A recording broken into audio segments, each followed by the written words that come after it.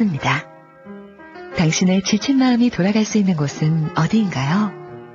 냉정과 열정 사이의 작가 에쿠니 가오리의 평범하고도 특별한 가족 이야기 소란한 보통날 소담 출판사 89.1MHz KBS Cool FM입니다. 주식, 펀드, 채권, CMA? 요즘은 뭐가 좋지? 유행보다 자기 투자 성향에 맞게 디자인을 하셔야죠. 투자를 디자인? 증권회사 그 이상 신한금융투자가 10시를 알려드립니다.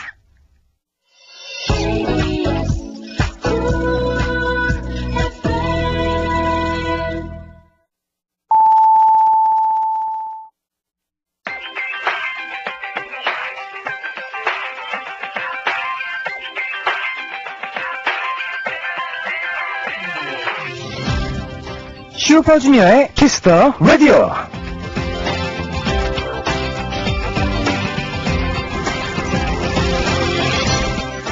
약속에 습관적으로 늦는 사람은 어떤 면에서 보면 편하죠?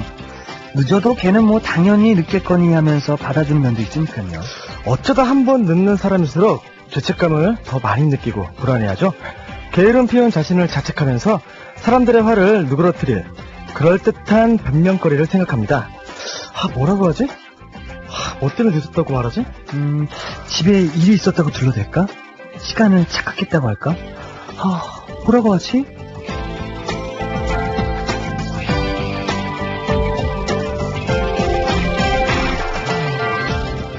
약속에 늦거나 하는 일에 차질이 생겼을 경우 우리는 미안한 마음에 온갖 독창적인 변명, 변명 거리를 준비하지만요.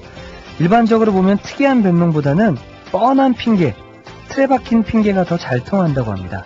아니, 엄마가 편찮으셔서 그 병원 모셔다 드리느라 늦었습니다. 아, 보다는, 아, 차가 막혀서 늦었습니다. 아, 늦잠을 잤어요.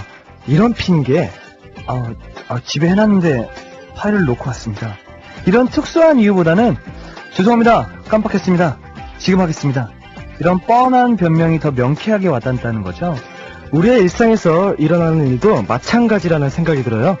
무슨 일이든 무조건 어렵고 복잡하게 풀 게 아니라 단순하고 쉽게 생각하는 요령도 필요한 것 같습니다. 자, 숨차게 바빴던 월요일 하루 중에도 지금 이 시간만큼은 쉽게 편하게 갔으면 하는 바람으로 오늘 순서 시작해 볼게요. 여기는 슈퍼주니어의 키스터 라디오입니다.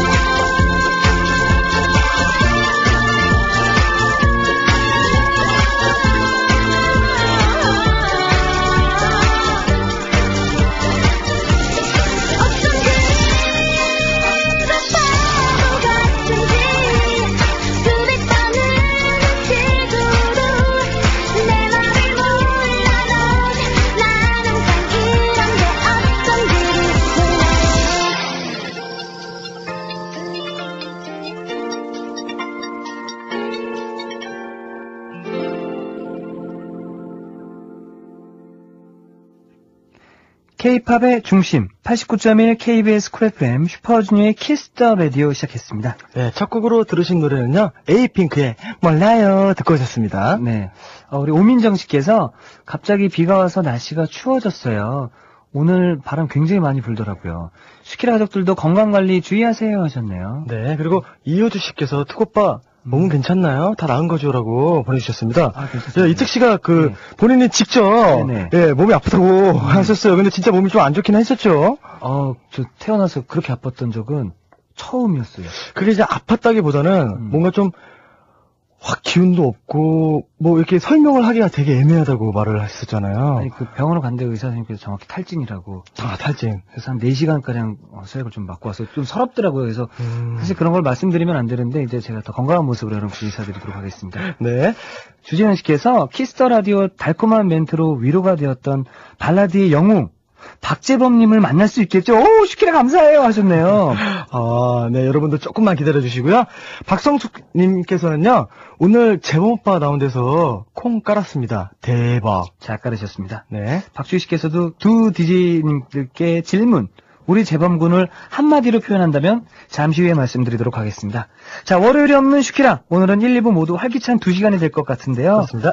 1부에는 오랜만에 만나는 반가운 스타 특별 초대석으로 함께합니다.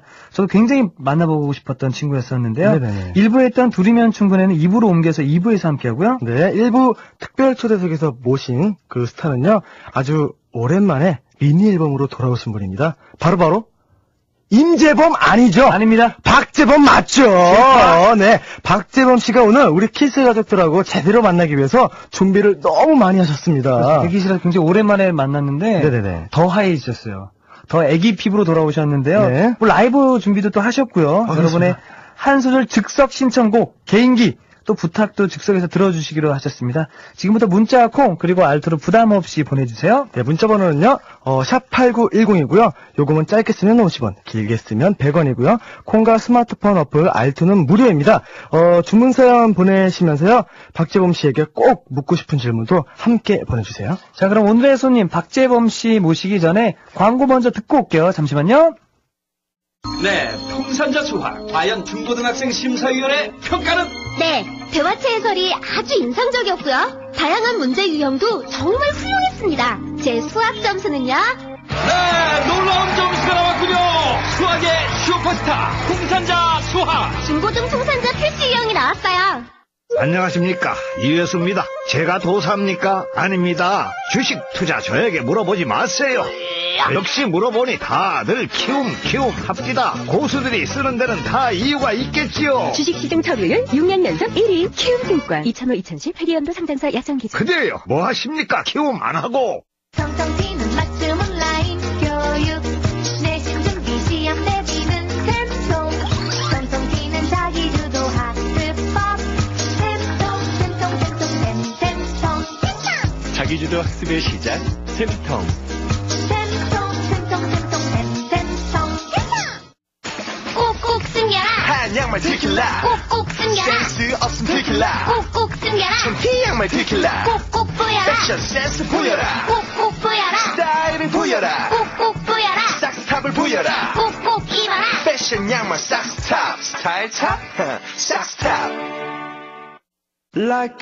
누군가 당신에게 파스쿠치 커피를 권한다면 그는 당신과의 사이가 진해지길 원하는 것입니다. 이탈리아 100년 전통 에스프레소의 진한 맛과 향. 이태리를 한 잔에 담다 파스쿠치. 원고 공개 48시간 만에 대작의 명성을 거머쥔 에메랄드 아틀라스 반지의 제왕 해리포터를 잇는 판타지 소설의 결정체 전 세계 35개국이 열광한다 이제 당신의 차례입니다 존 스티븐스 장편 소설 에메랄드 아틀라스 도서출판 비룡소 배기량, 연비, 엔진 출력, 차 고를 땐 그토록 세심한 당신, 차 살 땐 왜 그렇게 대충이시죠? 이율도 싸고 금융수수료도 한 푼 안 드는 삼성카드 자동차 할부가 있는데 말이죠. 차를 싸게 사는 참 쉬운 방법. 차 살 땐 캐피탈보다 삼성카드 1688-3001 89.1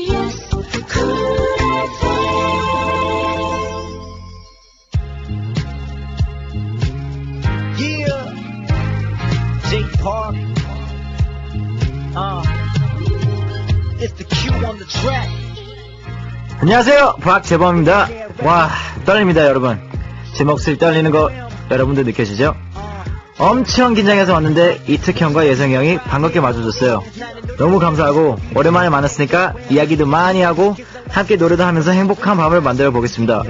슈키라 everybody come on yo let's go let's go yo, let's go 이게 답이야 내 작곡사 마이클 잭슨 보고 춤을 따라 했어 처음 든랩 노래 뭐인지 regulation So this mean 나 흉봐도 흉내는 나네 Fake rappers 연습 더해 두 배를 밤새 자, 여러분이 기다렸던 바로 그 목소리입니다. 자, 오늘의 특별 초대석의 주인공, 지금 많은 분들이 너무나도 기다리셨을 텐데요.